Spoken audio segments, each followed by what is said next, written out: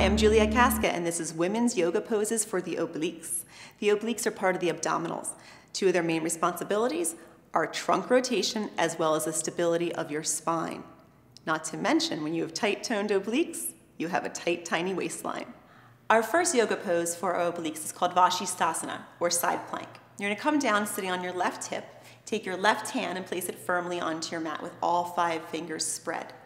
And then shift your legs out. For a beginner, you can use your front hand to press down and lift up so you're balancing on your knees, using your obliques to help stabilize you.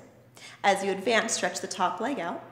And as you advance further, you're going to stretch both legs, coming into the full pose, reaching the right arm up to the sky, and eventually rotating your eyes and looking up at your fingertips.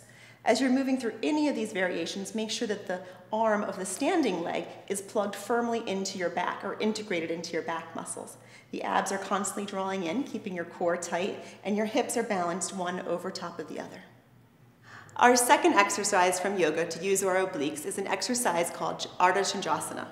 It's a balancing exercise that we need our obliques in order to find our balance. So standing in a wide lunge position, reach your right hand down in front of your right foot, and then lift your back leg or your left leg up with a flexed foot and extend out through the crown of the head.